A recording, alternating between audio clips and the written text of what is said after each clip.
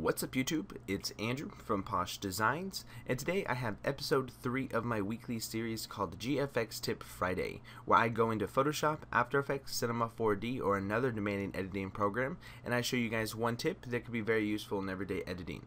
Now in today's tutorial I'm going to be showing you guys how to make effective gradients and as you guys see from this preview image this is a very wrong gradients because if you guys see you guys can't really determine what is going on in this picture it almost looks like there is not a gradient now as you guys see it's really dark down here and then you guys see that it gets a tad bit lighter up here but it doesn't look very clean and professional now in this one, it goes from really light gray to a really dark gray. And this looks very unprofessional too. This is what a lot of people will see their gradients turning out to be.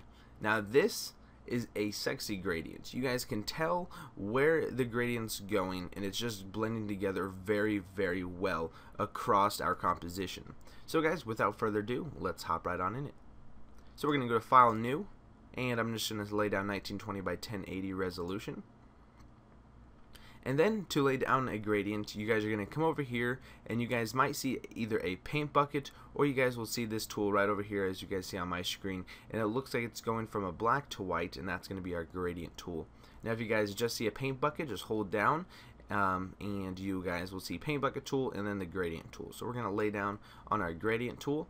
And then we're going to come up here to this little color panel up here and we're just going to hit that drop down arrow and then we can select whatever we want. So I'm just going to select uh, this far left one and then I'm going to double click inside that panel and then we can select our colors by choosing these two right here.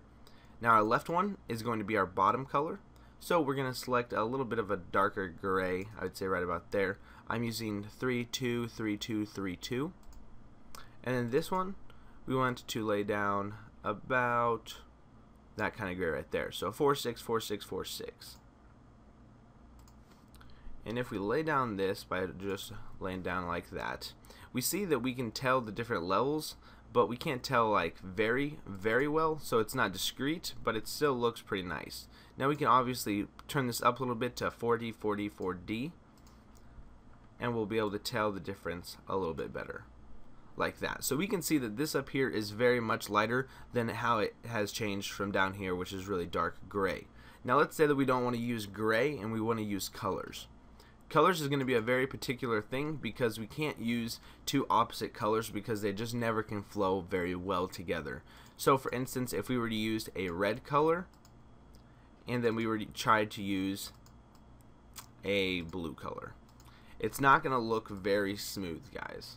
As we see right here, it just looks terrible, it looks ugly, and it just looks by far unprofessional.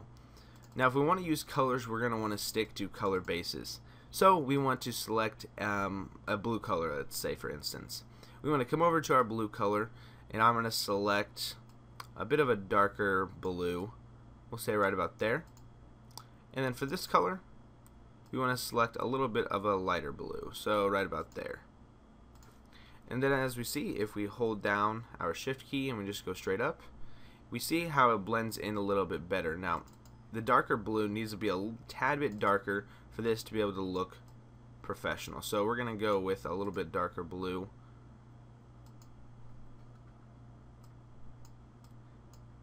And if we lay down the gradient once again, now it looks a little bit more professional. Now for me, I love the green colors. The green colors look amazing and I have a lot of presets set for that green color because it looks so nice. Now if I were you, I'd select a little bit of a darker lime green. Don't select a very, very dark green. Select a darker lime green right about there.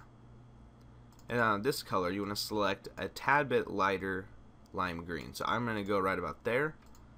And then after we lay down this, it looks amazing. I don't know what it is about it, but it just looks so reminiscent down at the bottom. And then at the top, it just looks nice and clear. And it just looks amazing. I use this on a lot of my text, and uh, it just looks really good. So I love this type of gradient.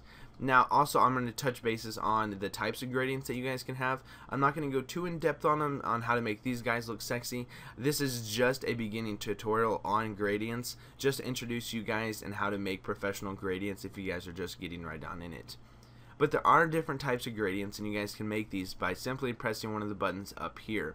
Now, this one is probably the far most uh, popular one, and this is the radial gradient. The linear gradient and the radial gradient are probably the most popular gradients that you guys will run into. Um, sometimes you guys will use uh, the different ones, such as the you know the angle gradient and the reflected gradient and the diamond gradient but I'm just going to be touching bases on the radial gradient. So if we just select the radial gradient, we go, um, you want to try to get in the middle as much as possible. So right about there, and if you just hold shift and go diagonal, you guys will see that it stretches out in a uh, 45 degree angle. And then if you lay that down, it has a radial. Now, the trick on doing this is, is have the darker color be over on this side. So if we just drag this one over here and drag this one over here, sorry, just a minute. If we drag this dark green over here and the light green over to the left side, now if we try to lay down the gradient, it's going to look a tad bit more cleaner as you guys will see. So you guys see how the radial makes the light just really pop in the middle and then it has kind of a, um, a sort of vignette on the outside which looks really nice and uh, really pops off is what I think. Now, as what I use this one mostly for is for YouTube backgrounds. If you guys just want to make a nice clean background, I would recommend using about uh, kind of like a uh, I don't know how to explain like a 3 fifths gray, which would be like around 5D, 5D, 5D. And then on this one, you want to use a bit of a darker gray, so I'm going to go with, we're going to go with 363636. And if we look at this, when we throw down this one after we hold down our shift key, we see that it looks really clean and it just makes a wonderful vignette over any background and it just makes things pop off a little bit is what I think without using an actual vignette. So guys, I think this is all I have for you. That's about all I can teach you guys um, as a beginning tutorial uh, introducing you guys to gradients. So remember that these uh, two are very wrong. You guys don't want to use gradients like this. Um, especially because one, you really can't notice a gradient on this, and this you can really tell that there's a gradient, and they just don't look clean, they don't look professional, and you don't want to give out projects that have gradients like these. So guys, if you guys like the tutorial, please drop a big old like on this video. It helps out a lot and it only takes two seconds of your day. And if you guys have any feedback, questions, concerns, just drop that in the comment sections below and I'll try to get back to you guys as soon as possible.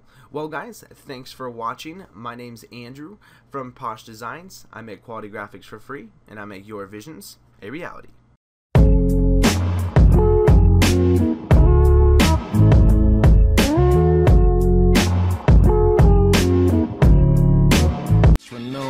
Thoughts keep telling me to get me home, but my balls keep telling me to let me oh. Oh, just let me oh. That clock keeps ticking like a metronome, and my thoughts keep telling me to get me home, but my balls keep telling me to let me oh.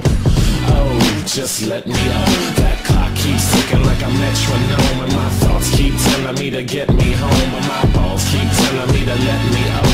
Fuck all that shit, just let me go. Owers and tastemakers make